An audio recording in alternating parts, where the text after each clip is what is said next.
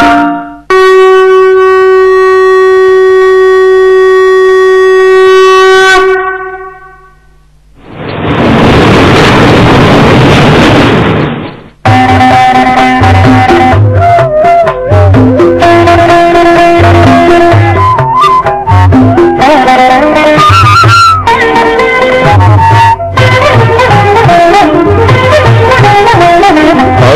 అద్భుత విగ్రహ మరాధీశ్వర అగణిత గుణగణ అమృత శివ సాంబ సదా శివ సాంబ సదా శివ సాంబ సదా శివ సదా శివ ఆనందామృత శిఖరక్షక ఆనంద మహేశ శివ సాంబ సదా శివ సాంబ సదా శివ సాంబ సదా శివ సదా శివ ఇందు కళాధర ఇంద్రాది ప్రియ సుందర రూప సురేశ శివ సాంబ రామ శివ సాంబ సదా శివ సదా శివ ఈశ సురేశ మహేశ జనప్రియ కేశవ సేవిత కీర్తి శివ రామ సదా శివ సాంబ సదా శివ. పురగాడి ప్రియ భూషణ శంకర నరక వినాశన కేశ శివ సాంబ సదా శివ సాంబ సదా శివ సాంబ సదా శివ సదా శివ మూర్ధిత దానవనాశ పరాకర అద్భుత పాప వినాశ శివ సాంబ సదా శివ సాంబ సదా శివ సాంబ సదా శివ సదా శివ సాంబ సదా శివ సాంబ సదా శివ సాంబ సదా శివ సదా శివ సాంబ సదా శివ సాంబ సదా శివ సాంబ సదా శివ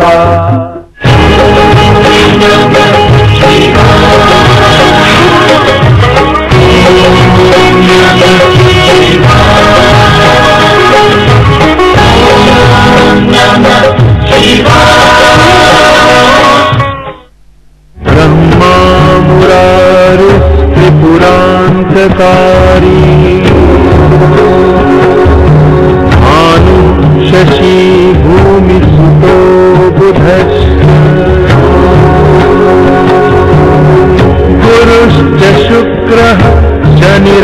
శనిరాహుకేతవः कुर्वन्तु सर्वे मम सुप्रभातम्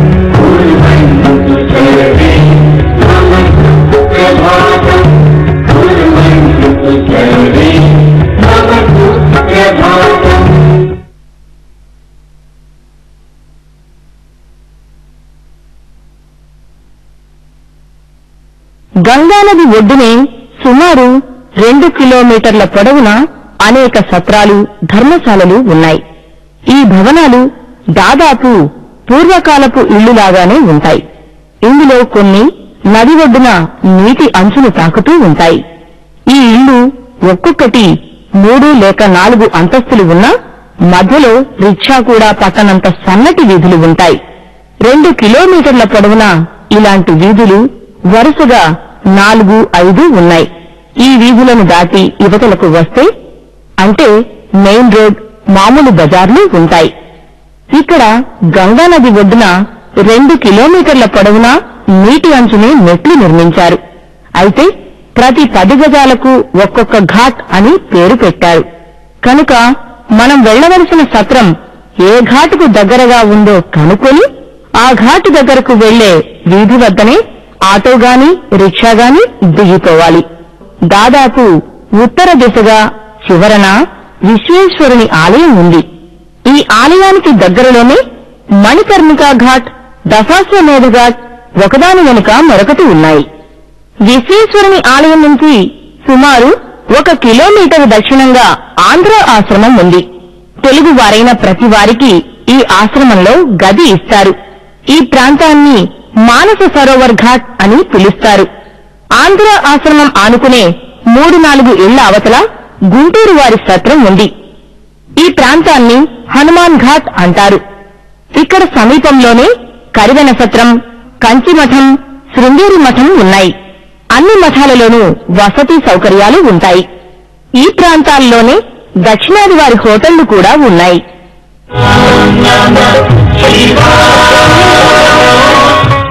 గంగాతరంగరమణీయ జటాకలాపం గౌరీ నిరంతర విభూషిత వామభాగం.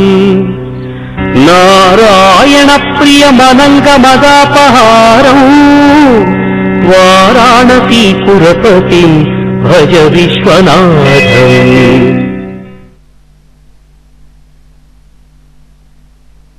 కాశీపట్టణ వైభవం గురించి చెప్తూ పెద్దలు ఒక మాట అంటారు. కలుగని కాశీ శంభులింగములు కోట్లు. విశ్వనాథుండు లింగంబె శాశ్వతుండు. కలుగని తీర్థములు కోట్లు కాశీయందు. అనగా మణి మణికరుణికయే తీర్థమని ఎరుగు.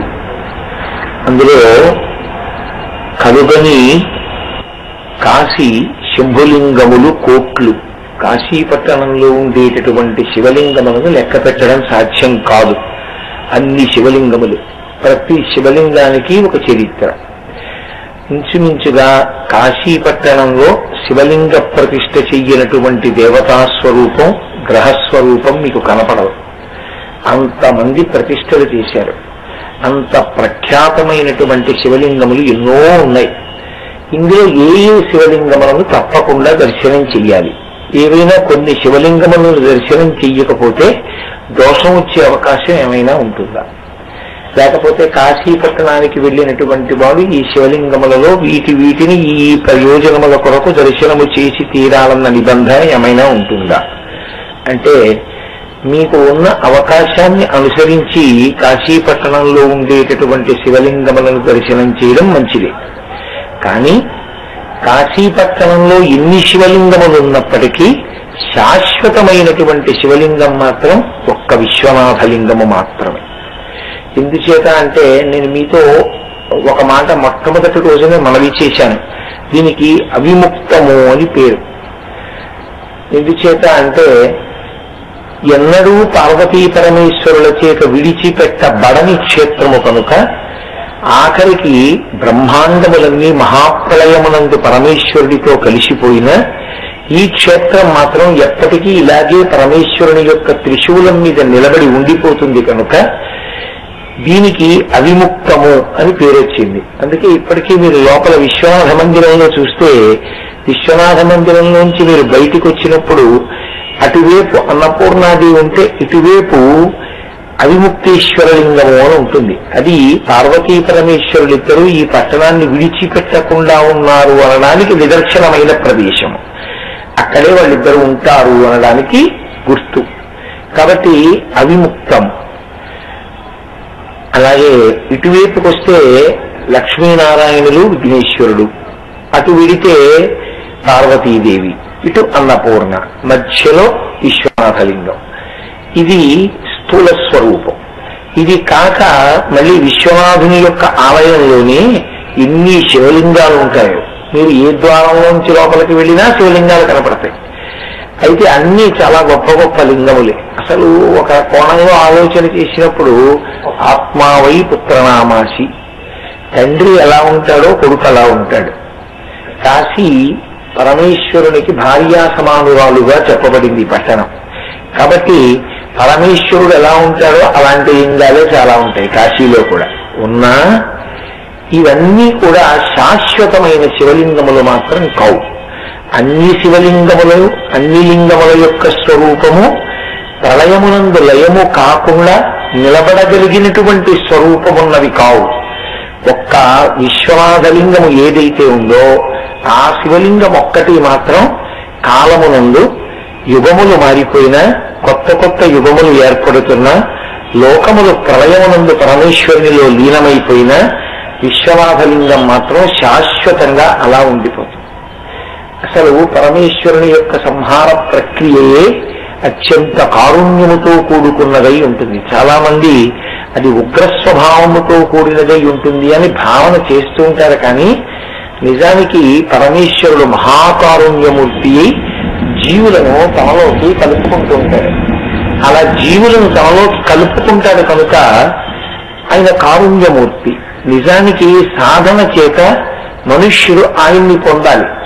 కానీ మనం ఆయన్ని పొందలేకపోతున్నామని ఆయనే మనని పొందుతాడు. ఆయనే మనని మహాప్రయమునందు పొందేటటువంటి ప్రక్రియలో కేవలము మనుష్యులు కాదు సమస్త జీవకోటి ఉంటుంది. అందుకే అది కారుణ్యంతో కూడుకున్నదే తప్ప అది ఏమీ కూడా ఇబ్బందితో కూడుకున్నటువంటిది కాదు. అందుకే పరమేశ్వరుని యొక్క స్వరూపమే కారుణ్య స్వరూపం పరమ పరమకారుణికుడు ఆయన. అటువంటి విశ్వనాథమూర్తి ఎవరున్నారో ఆయన ఇన్ని యుగములు దాటిపోతున్నా సరే శాశ్వతంగా నిలబడిపోయినటువంటి శివస్వరూపములకు ప్రతీక మంగళమూర్తి అయినటువంటి విశ్వనాథ లింగము అందుకే శంకర భగవత్పాదులు ఒక చోట అంటారు బ్రహ్మమస్తకావలి నిబద్ధతి నమశివాయ అంటారు. ఒక్కొక్క యుగం ప్రారంభమైనప్పుడు బ్రహ్మగారి స్థానం నిర్ణయింపబడుతుంది. నిర్ణయింపబడినప్పుడు ఇంటికి పెద్దవాడు బ్రహ్మగారు. ఎందుకంటే వేదాన్ని ప్రమాణంగా తీసుకుని ఆయన ఈ లోకములన్నింటినీ సృజిస్తాడు. ఆయన ఈ జీవులన్నింటినీ కూడా తయారు చేస్తాడు శరీరం ఇచ్చి కర్మఫలాన్ని అనుభవించండి అని పంపిస్తూ ఉంటాడు. అయితే ఇక్కడ మళ్ళీ ఇంకో అనుమానం వస్తుంది. అనగానే కర్మఫలాన్ని అనుభవించండి అని పరమేశ్వరుడు పంపించినది నిజమైతే ఇక మేము పుణ్యం చేసుకోవడం నేను సాధన చేసుకోవడం అన్న మాట ఎక్కడుంది అసలు? ఇప్పుడు ఇప్పుడే నువ్వు సాయంకాలం కాశీలో ప్రవచనం చెయ్యి నా నుదుటిలో రాశారనుకోండి కాశీలో సాయంకాలం అయ్యేటప్పటికీ నిద్ర పట్టేయాలని మీ ముఖాన రాశారనుకోండి. మీ ముఖాన అంటే మీరని కాదు నా ఉద్దేశం ఎవరో వేరొకరి ముఖాన. వాడు వచ్చి నీ ముఖాన ప్రవచనం చేయమని రాశారు చేశావు. నా ముఖాన నిద్రపోమ్మని రాశారు నాకు అదే సమయానికి నిద్ర వచ్చి నిద్రపోతున్నాను. ఏమిటి దోషం? నాదే తప్పు. బ్రహ్మగారు అలా రాశారు. ఈ ఉపాధి అలా నడుస్తోంది. ఆవిడ కార్యక్రమాలు చెయ్యాలని రాశాడు చేస్తారు. మన మన ఎదుటిన వ్రాయబడి లేదు మనం చెయ్యము నాదే తప్పు. దానికి చెయ్యలేదని నన్ను శిక్షించడం ఎందుకు చేశారని ఒకరిని మెచ్చుకోవడం ఎందుకు ఈశ్వరుడు ఆయనేగా చేయమన్నది నువ్వు చేస్తావన్నాడు ఆయన వాక్కు జరిగింది. నువ్వు చెయ్యమన్నాడు చేయలేదు. దానికి మళ్ళీ నువ్వు చేయలేదని నన్ను శిక్షించడం ఎందుకు నువ్వు చేశావని ఇంకోటి నెత్తి మీద పెట్టుకోవడం ఎందుకు అని ఒక మెట్ట వేదాంతం అంటారు. ఒక ప్రశ్న వేస్తుంటారు ఈశ్వరుడు మనుష్య ప్రాణికి బుద్ధినిచ్చాడు ఈ బుద్ధి ప్రధానంగా దేనికి ఇవ్వబడుతుందంటే వాసనా బలాన్ని జయించడం కోసం ఇస్తాడు. లేకపోతే ఈ సమస్త వాంగ్మయము ప్రయోజన రహితము వివేకానంద స్వామి ఒక చోట అదే అంటారు. If you feel that the old scriptures and the literature cannot answer your present days question and context do not hesitate to throw them out of your window అంటే నిజంగా ప్రాచీన కాలం నుంచి ఉన్నటువంటి వేదము పురాణములు కావ్యములు ఇప్పుడు ఉన్నటువంటి లేదా రాబో కాలంలో సాధకుని యొక్క ప్రశ్నలకు జవాబులు చెప్పలే చెప్పలేవు అన్ని సహేతుకంగా నిర్ణయించుకుని ఉంటే వాటిని నీ కిటికీలోంచి విసిరి నాకేం అభ్యంతరం లేదన్నారు అలా ఎన్నటికీ విసిరివేయబడవలసిన స్థితిని కల్పింపబడవలసినవి కావని వివేకానంద స్వామికి తెలుసు. అందుకని నా మాట అన్నారు. పరమేశ్వరుడు ఒక్క మనుష్య ప్రాణికి బుద్ధినిచ్చాడు ఈ బుద్ధి చేత ఏం చేయవలసి ఉంటుందంటే వాసనా బలాన్ని గెలవాలి. వాసనా బలాన్ని గెలవడానికి బుద్ధి దేనికి ఉపయోగపడాలంటే వాంగ్మయాన్నంతటినీ ఆధారంగా తీసుకుని గురువాక్యాన్ని ఆధారంగా తీసుకుని శాస్త్రాన్ని ఆధారంగా తీసుకుని వాసనని గెలిచి తాను సద్వాసన ఎందు నిలబడగలగాలి వాసన అన్న మాటకి మళ్ళీ నేననేది ఏదో శబ్దస్పర్శ రసరూప గంధముల ఎందు ఒక తన్